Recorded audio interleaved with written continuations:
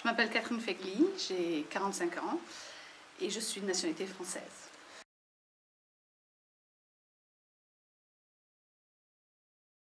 Alors j'ai d'abord euh, un diplôme en sociologie, option euh, journaliste, et j'ai ensuite fait de la science politique, parce que mon premier désir était d'être journaliste. Et donc j'ai ces deux, deux passions qui étaient la sociologie et la science politique.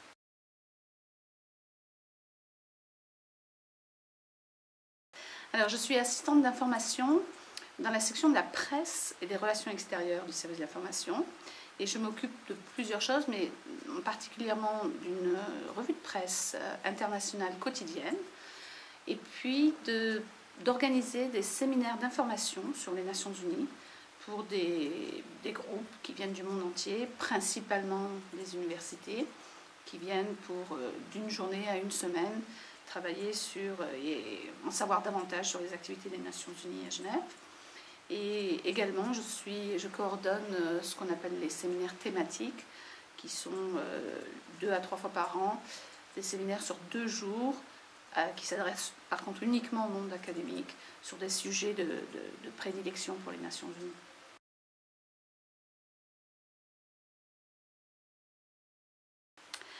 Comme je vous le disais tout à l'heure, à l'origine, euh, je voulais être journaliste. J'ai travaillé dans cette profession euh, au tout début de ma carrière. Et euh, j'ai toujours eu, mon cœur a toujours été scindé en deux. D'un côté le journalisme et d'un côté les relations internationales.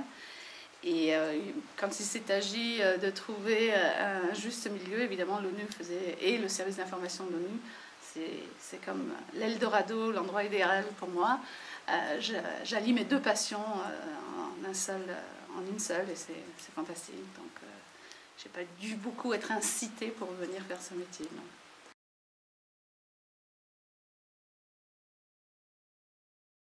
Particulièrement pour ce que je fais, il faut une certaine organisation et planification, hein, puisque je travaille beaucoup à organiser sur l'année. On a à peu près 80 séminaires que nous organisons l'année. il faut un, certain sens de la créativité pour toujours euh, avoir des, nouvelles, euh, euh, essayer d'être... il faut par exemple être très en contact avec l'actualité pour essayer d'être, de faire des programmes qui, qui, plaisent au plus grand nombre en fonction de ce que les Nations Unies, bien sûr, ont à dire, mais de l'intérêt aussi général. Il faut surtout, il faut beaucoup travailler en équipe. c'est important, on ne fait rien tout seul ça, il faut avoir un sens du professionnalisme également.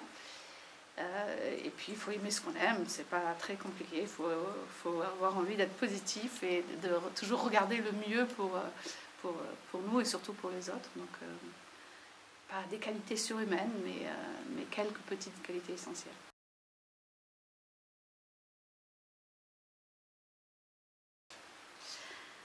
Je ne sais pas trop pour les points négatifs, mais les points positifs.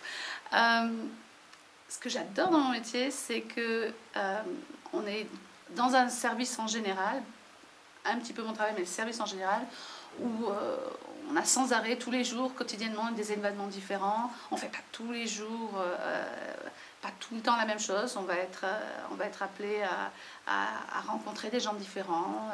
ce qui me concerne, par, exemple, pour les séminaires d'information, on va rencontrer des, personnes qui viennent d'endroits différents du monde, de cultures différentes. J'adore, c'est l'échange avec l'autre. C'est ce qui, ce qui nous nourrit beaucoup ici.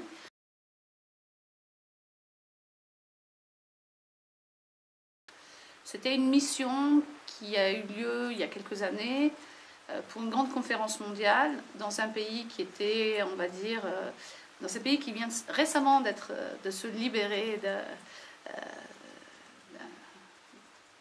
chef d'État un peu, un peu tyrannique. Et ça a été une mission difficile parce que c'était une mission où nous étions là pour le bien.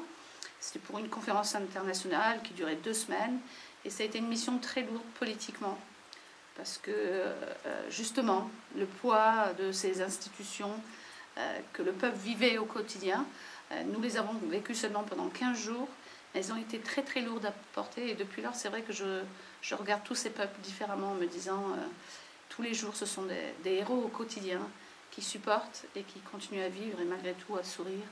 Et c'était donc pour moi une mission assez révélatrice pour ça, hormis le fait qu'effectivement, avait une mission avec beaucoup de tensions, parce qu'il y avait beaucoup d'enjeux politiques derrière.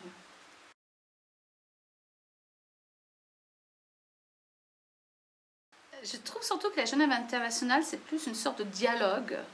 Euh, c'est un, comment dire, un espace de dialogue universel où chacun tend vers le même objectif, euh, à savoir un monde plus sûr, une meilleure vie pour chacun. et en cela, que ce soit au niveau fédéral, au niveau même local, les autorités genevoises, au niveau cantonal, euh, travaille vraiment en coordination avec euh, des partenaires comme euh, les organisations internationales, les, organisations indépendantes, des fondations.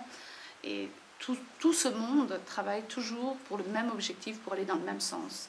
Et c'est ce que je trouve formidable dans cette Genève internationale, qui est une très belle initiative.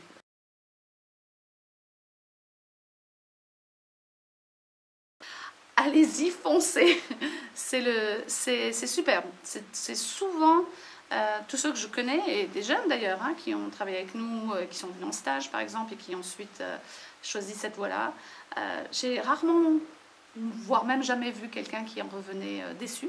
C'est une expérience humaine formidable. Ce sont des expériences non seulement de vie, mais de travail qui vous, qui vous marquent.